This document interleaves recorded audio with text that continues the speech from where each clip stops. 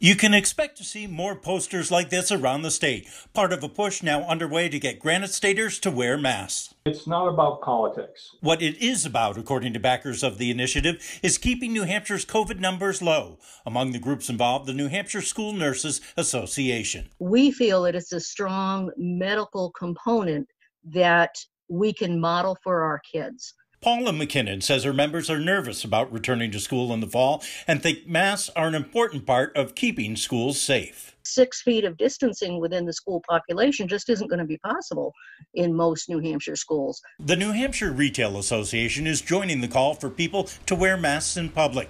The CEO of New Hampshire Medical Society says it just makes economic sense. It's really about uh, how do we keep our economy going in a pandemic?